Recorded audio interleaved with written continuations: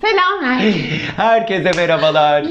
evet yine gülmeye başladık. Aynen. Ay, sonunda tekrar gülen modumuza geri döndük. Somurtan modda çok fazla duramayacağımıza karar verdik Evet, ikimiz de. aynen. Artık seven sever, sevmeyen sevmez ne yapalım Evet, yani. Bugün itibariyle gülüyoruz.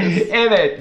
Şimdi yeni dersimizden çıktık. İnci ile beraber savunma mekanizmalarını konuştuk. Yani insanların böyle kendi egolarını korumak için kullandığı mekanizmaları konuştuk. Tabii bir yandan da gülmeye de devam ediyoruz. Çünkü hepimiz kullanıyoruz bu tarz savunma mekanizmalarını. Kendimizden de parçalar bulduk Ay sevdiklerimizden. ben hiçbir parça bulamadım kendimden. Hangi gruba giriyorum?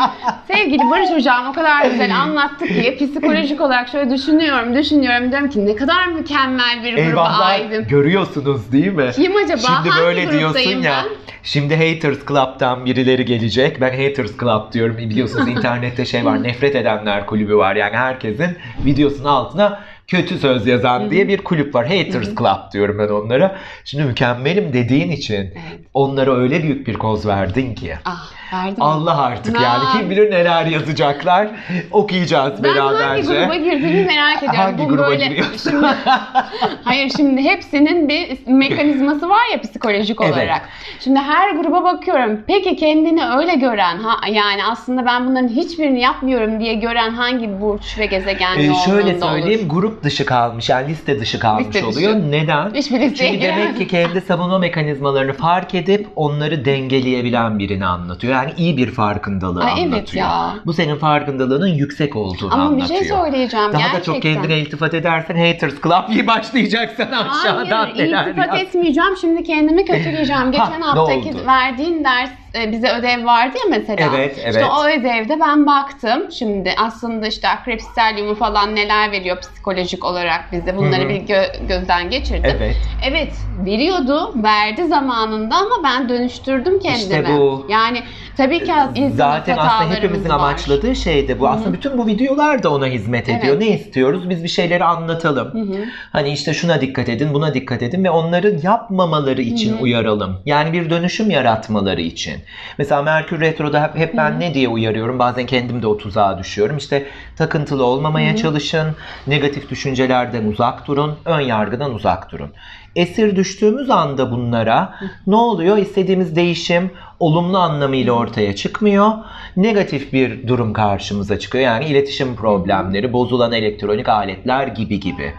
Bilmemize rağmen bazen ne oluyor? Mesela geçen hafta bir iki gün falan daha takıntılıydım. Dikkat ettim normale göre. Unuttum o söylediğim şeyi insanlara ve kendim de takıntılı olduğum için o iki günüm berbat geçti mesela. Ve olaylar da ters Evet. gitmeye başladı. O yüzden aslında bilmek çok mühim.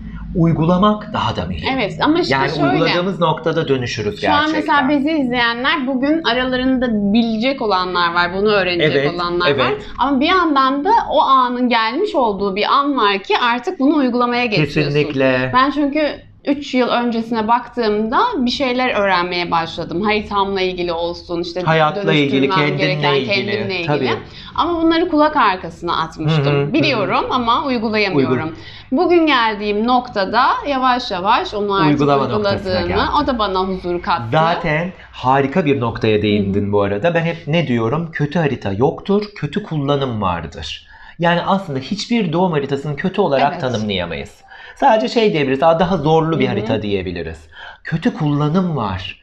Yani yemeğin malzemesi gibi kötü malzeme yok. Ama kötü yemek yapabilir insan. Onları yanlış kullanarak. Aynı şey haritalar için de geçerli. Yani korkmasınlar. Hı hı, Hani diyor ya işte benim de. haritam çok mu kötü? İşte Satürn ayımla kavuşmuş, güneşime ben- karşıt gibi sende var, bende, Bende var. hepsi var Hepimizde kötü. var. Yani Ay Satürn karşıtı Bende de, var, sende Güneş de bir Satürn sürü kötü açı var. Yani aslında Korkmasınlar. Korkmuyoruz. Lütfen çünkü bu ara çok mesaj alıyorum korkularına dair. Korkacak bir şey yok. Hepimizin haritasında olumsuz şeyler var. Kötü kullandığımız sürece kötü şeyler yaşarız. Durup dururken kötü bir şey yaşamıyoruz aslında hiçbirimiz. Ya kaderin bir parçası olarak yaşıyoruz ya da dengeyi bozduğumuz için yaşıyoruz. Demişken Evet. dengeyi bozabilecek bir dolunaya gelelim. Hadi Ay, gel. Bozar mı Başak Dolunay'ı Bozabilir. bize neler getirecek? Çünkü- Ne yapacak? Daha doğrusu ne götürecek ne getirir ne götürür çok mühim inci. Çünkü bu bir super moon, süper dolunay. Hı hı. Güçlü bir dolunay var pazartesi günü ve etkisi en az 3,5-4 gün sürecek. Ve yayılacak o enerji dünyaya. Başak bir kere sağlıkla ilgili. hijyenle ilgili. Sağlık sektörü, hastalıklar, hijyen konuları neyi aklımıza getiriyor? Evet, koronavirüsün. Koronavirüsünü aklımıza getiriyor. Ne olacak şimdi Yani bununla ilgili ilgili, eğer dikkat etmezsek abartıya ben şu anda abartıya gittiğimizi zaten görüyorum. Hmm. Çok net söyleyeceğim bunu. Bozulanlar olabilir ama abarttık. Yani bir kere virüs bütün okuduğumuz kaynaklara bakarsanız öyle 100 kişiden 100'ünü öldüren bir virüs değil bir kere. %1, %2 gibi bir ölüm oranı Evet. var. Ki bu hemen hemen domuz gribinde de olan bir orandı. Ben geçen sene domuz gribi oldum mesela. Gittim hastaneye, serum takıldı, bir e, tablet verildi. Şimdi adını söylemeyeyim, o virüsü öldürmeye yönelik aldım ve üçüncü gün ayaktaydım ben. Evet. Üçüncü gün bir kere çok abarttık. Ölümcüllüğünü, yayılma hızını, bize yapabileceklerini çok abarttık ve farkında olmadan aslında bazı bu işi manipüle edenlerin ekmeğine de yağ sürdük. İşimize yaramayacak bazı takviye ilaçları da aldık. Maskelerin fiyatının abartılmasına da sebep Aa, olduk. evet, bu çok. e, çok üstüne düştüğümüz için. Şakır şakır ellerimizi dezenfekte etmeye Hı hı. başladık ikide bir. O da elin bir süre sonra koruma tabakasını yok edebilir Ha, tabii. çok sık yapıldığında. Yani biz aslında hepimiz Aa, biraz ben da de uzunu geçen gün kaçırdık. yaptım. Biliyor musun? Ee, kızım için özellikle Hı hı, ben hı. çok e, bağışıklık sistemi neden güçlü anlamadığım bir şekilde kapmıyorum. Maşallah diyelim. Hiçbirini yani Maşallah. maşallah, diyelim e, do- ne domuz gribi ne diğerlerini bu salgınların hiçbiri olmadı. Ama çocuk tabii okula gidiyor ya ister istemez bir girdik eczaneye işte şey aman maske bu N95 Evet, galiba evet, onlar evet. özellikle o olsun dezenfektan derken mesela sadece korunmak için öyle 2 iki parça şey aldık 135 lira verdik çıktık mesela. Hatta daha da pahalandığını gördüm. İnternette biraz baktım. Maske fiyatları iki buçuk e, katına, beş katına, on katına Hı hı. çıkmış. Bazıları 500 lira, bazıları 750 lira. 2500 liraya maske Aa, gördüm. Hiç olacak şey değil artık. Yani zaten o maskeyi alırsam eğer kıyamam takmaya. Ay, Kıyamam takmayı onu saklarım evde. Onun acaba böyle özel şey- günlerde takarım falan Onun yani. acaba markası mı çıktı, yabancı ya böyle bilemiyorum. şey? Abarttık arkadaşlar. Yani biz sadece, sadece biz değil bütün dünya hep beraber biraz abarttık. Portakal koyan adam vardı ya. Evet evet biz. ne de tatlıydı. Ensekte asitli bir şey öldürüyordur da mikropları. Yani bu abartıya lütfen boyun eğmeyin. Çünkü Başak Dolunay'ı bunu arttırabilir önümüzdeki hafta. Virüs burada da görülebilir. Paniğe kapılabiliriz. Ay çok fazla söylentiler arttı zaten. Belki de İşte- var burada. Ya şöyle Ümraniye'de işte bir hastanede dediler işte Evet. işte sürekli ben de ambulanslarda ben, bunları. gördüm işte sürekli bir sosyal medyada böyle bir algı yaratılıyor. İşte bu da bu algı da biraz daha paniği körüklüyor. Ne oluyor? Hepimiz eczanelere koşup falan sürekli ilaç almaya çalışıyoruz. Bu kadar ilaç almanın da bazı zararları olabilir. Bu kadar çok vitamin, takviye, bağışıklık güçlendirici. Ay asıl kötü Bilmiyoruz olan ne ki. biliyor musun? Şimdi bir akrep olarak paranoyaklık Evet. artıyor. Bir mekana giriyorum şimdi. Ortalıktaki herkesi bir süzgeçten geçiyor. Hapşıran var mı? Öksüren var mı? Onu da Ah, tabii ah, neyle ah. çözdüm? Denge. Denge, idrak ve irade yine üç kelimeye döndük ve şunu düşünün. Yani bu manipülasyonu zaten izlemiyor muyuz hepimiz filmlerde bir yandan? İnsanların korkusunun tetiklenerek onlara yaptırtılan şeyleri zaten görüyoruz. Ve ilaç firmalarının falan da biliyorsunuz hep şey vardır belirli ailelere gidiyor paraları şu oluyor bu oluyor ilaç sektörünün. E boyun eğmememiz gerekiyor bu manipülasyona. Tabii ki önlem alacağız, temiz olacağız. Evet. Dikkat edeceğiz. Hapşırıyorsak kapatacağız burnumuzu ya da öksürürken saygılı olacağız insanlara ama bunu abartıp Michael Jackson gibi bir noktaya getirip oksijen çadırlarında yatmanın falan da bir anlamı yok. Hayat dengede güzel. Bununla da bir farkındalık artıyor. Evet. Çevrede herkes ellerini çok güzel yıkıyor. Ben Evet, herkes, ben de dikkat e, böyle ediyorum. restoranların lavabosunda görüyorum. Bakıyorum bayağı. Şıkır el yıkayanlar bir hijyen artışı. Ben Çok güzel. nasıl izliyorsam- pak oldu İstanbul yani hakikaten doğru. İşte Başak bunlardan birini anlatıyor. Sen de biliyorsun zaten 6. ev konularıyla da çok ilgili bir burç.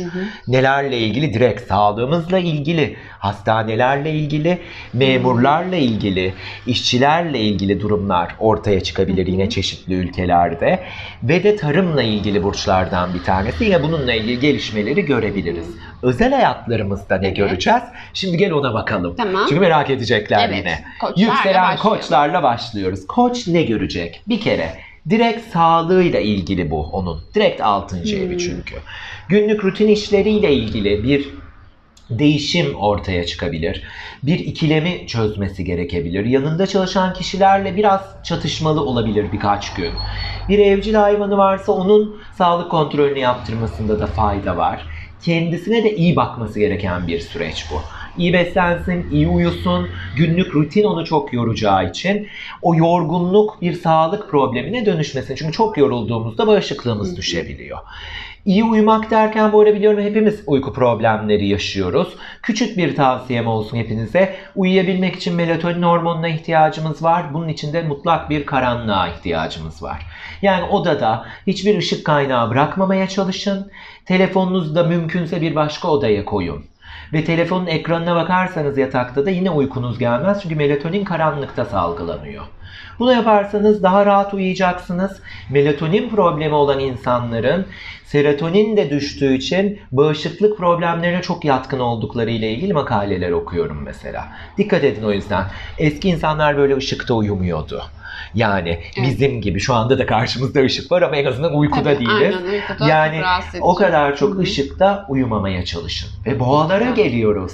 Aşkla ilgili. Ne oluyor? Biraz gerilebilirler. Hı. Yani bir bitiş dediğin Evet. gibi olabilir. Daha önce başlayan bir ilişkinin sonucunu görerek rahatsız olabilirler gördükleri tablodan. Çocuklarıyla ilgili bir problemi çözmeleri gerekebilir. Hobileriyle ilgili risk aldıkları bir hobi yapıyorlarsa bir yaralanma, sakatlanma gibi bir durum söz konusu olabilir. Çok fazla bu ara eğleniyormuş gibi hissedemeyebilirlerdi. Çünkü 5. ev eğlenceyle de ilgili ve hazlarla ilgili hayattan aldınız. Biraz böyle sanki eğlenmiyormuş, sıkılıyormuş gibi. Bu hafta biraz öyle geçebilir. Zaten Olur daha Merkür de, de var. yeni biliyorsun düz harekete geçecek. Daha Merkür de belini Tabii. doğrultmadı. Onundan sonra düz harekete geçecek. Birkaç gün o durağın enerjisini de yaşayacağız. Sonra bir kendimize geleceğiz inşallah. Evet, inşallah. Böyle diye diye kaç haftadır kendimize gelemedik. Gelemedik gerçekten. Yani sizlerle birlikte biz de inanın kendi aramızda sürekli sohbet ediyoruz İnci ile. Çok ağır enerjiler vardı. Yani bizim de uykumuzun kaçtığı oldu, işte başımızın ağrıdığı, midemizin kötü o her şey olabiliyor yani. Bu ara artık bu ilkbahara geçişten midir, iklimden midir, yaşananlardan mıdır? Bir, bir türlü o şeye geçemedik o güzel moda. İnşallah geçelim artık bu inşallah, hafta. gerçekten. Hayırlısıyla. Mart da zor. Gülüyoruz ediyoruz ama Zor. senle ikimiz de kendi kendimizi yiyen tipleriz. Ben seni de kendimi de biliyorum Aa. yani yalnızken. Bir şey söyleyeceğim. Düşünen tipleriz ama çok sürekli. şükür şöyle yani çok düşünüyorum, çok duyarlıyız ama şöyle de bir durum var. Sürekli o psikolojinin içinde kalamayız. Kalamayız. Yani. Hasta oluruz. Hı hı. Zaten depresyon enerjisi de bağışıklığı Evet. düşürüyor çünkü. Hasta oluruz. Hı hı. Mutsuzken çoğu insan çok çabuk grip olur mesela. Bağışıklığı düşer. Hı hı. Yüksek tutmak için, neşe için biraz belki yürüyüş, Hı. arkadaşları görmek, birkaç sohbet Hı gibi şeylere ihtiyacımız Aynen var. yürüyüş çok iyi geliyor Yürüyüş bana da çok iyi geliyor. Hı. Size de öneririz. Ve ikizler. Evet. Nereden alıyor bu etkiyi? Dördüncü evden alıyor. Anne babasıyla bir tartışma içine girebilir. Bir konuda desteklerini isteyip bir çatışma Hı. yaratabilir farkında olmadan. Ev emlak arsa konularıyla ilgili bir gerilim oluşabilir, bir kararsızlık da oluşabilir.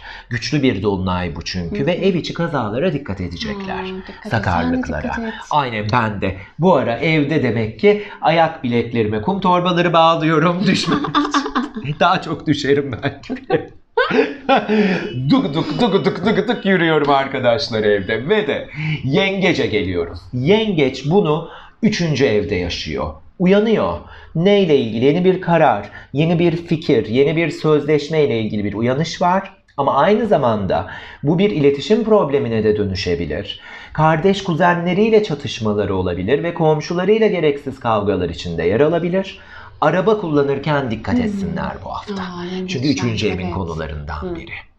Ve kime geliyoruz? Aslanlar. Aslanlara Ay, geliyoruz. aslanların ne oluyor? Aslanlar ilgili bir parayla ilgili. Yine ben gibi sana bakarken Ay, böyle bir an başka şeyde düşün ama bu sefer şarkı sözü değil. para geliyor mu acaba Para parayla ilgili Geliyor da olabilir, gidiyor da olabilir mu? İnci. Eğer doğru tohumu attılarsa Evet. para geliyor. Hmm, Ama bir hataları varsa yatırımlarıyla ilgili para gidiyor da Evet. olabilir. hmm. Umarım doğru tohumları atmışlardır aslanlar. Parayla ilgili Yüzleri konuları en azından artık. netlik kazanabilir Netlik değil kazanacak mi? bravo. Daha önce Çünkü alamadıkları dolunayın belki de ışığı alacakları vardı. büyük bir ışık. Yani Hı. her şeyi aydınlatan bir Hı. ışık dolunay.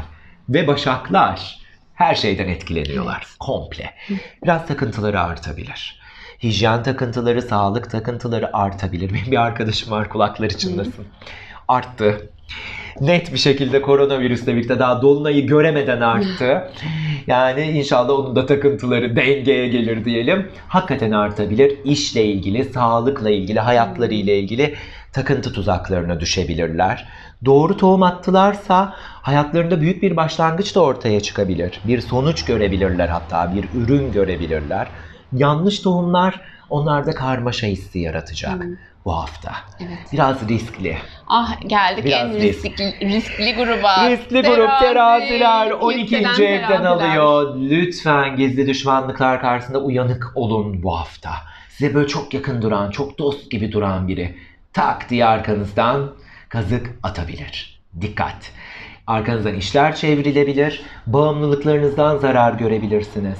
Hayatınızla ilgili herhangi bir maddeden, sigaradan, alkolden zarar görebilirsiniz. Ya da davranış kalıplarınızda değiştirmediğiniz alışkanlıklarınız varsa zarar verebilir bunlar size bu hafta. İçe dönmeye çalışın. 12. ev olduğu için söylüyorum. Ve daha böyle sezgilerinize güvenmeye çalışın. Takıntılarınıza yenik düşmeyin bu hafta mümkünse.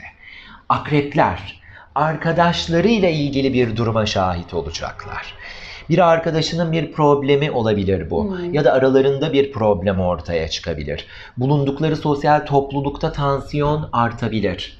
Kavgalar, tartışmalar çıkabilir. Ay ben her taraftan tehlike Aynen öyle her yerden ince yükselen Ben de akrepler, kendimi eve mi kapatsam, telefonumu da kapatayım. biraz kapanma zamanı yükselen terazi ve akrep için hakikaten. ve yaya geldiğimizde kariyeriyle ilgili bazı sonuçlara şahit olacak. Hedefleriyle ilgili patronlarıyla biraz e, atışmalı olabilirler, çatışmalı olabilirler bu hafta. Hedeflerine giderken bir sonuç görecekler bu hafta itibariyle. O sonuç ya hoşlarına gidecek, yola devam diyecekler ya da yön değiştirecekler. Ay yaylar bence biraz sakinleştirici alıp gitsinler işe bu Biraz hafta. bu hafta öyle bir de yayda atak bir burç, enerjik bir burç. Bu hafta öyle davranırsa işte hata yapabilir. Evet böyle Yaseminli çaylar. Aynen e, Melisa çayları, Melisa, Yasemin çayı. Melisa ta- çok iyi gelir evet. aynen. Biraz böyle yoga, meditasyon bir şey yani bedene bedene çok inanıyorum ben hep onu söylüyorum. Çok sıkışıyorsanız geçen gün bir danışanıma da söyledim. Bedene dönün diyorum. Anksiyete yani kaygı problemlerinde.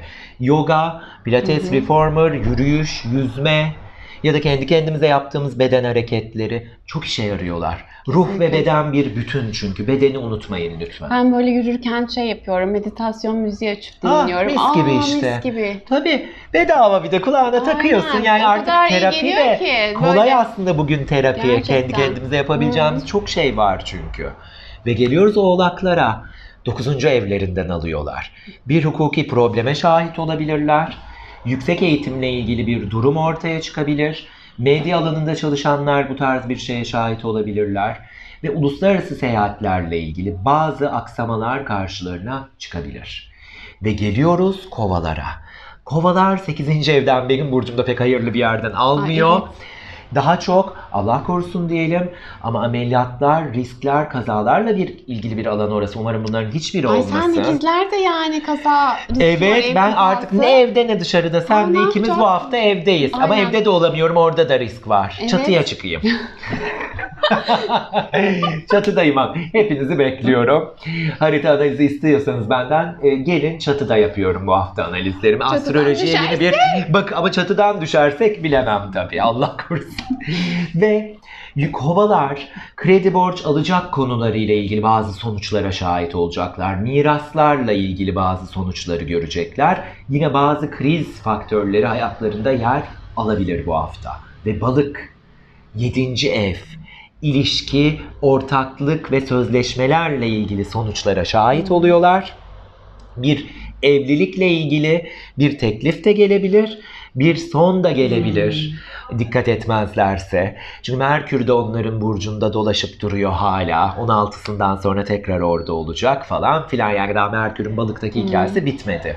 Ve de rekabetle ilgili, rakipleriyle ilgili durumlara şahit olabilirler aynı zamanda.